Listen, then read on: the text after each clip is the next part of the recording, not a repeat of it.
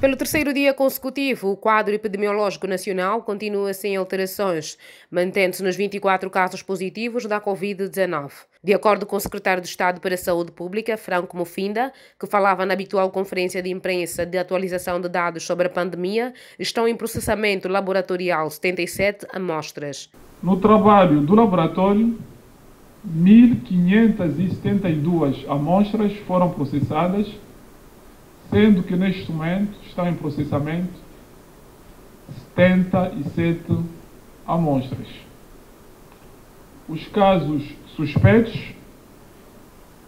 passaram para 388, enquanto que os contactos estão a 696, que são contactos diretos ou até ocasionais.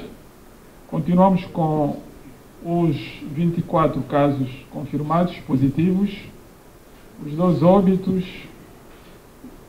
os seis recuperados, sendo que em segmento clínico temos 16 pessoas com o estado que se pode considerar estável.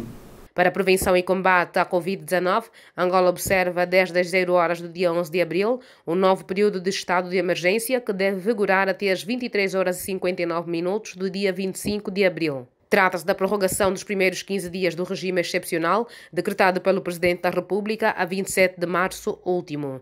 Na base da medida, segundo as autoridades nacionais, está o facto de se manterem os mesmos riscos de propagação da pandemia.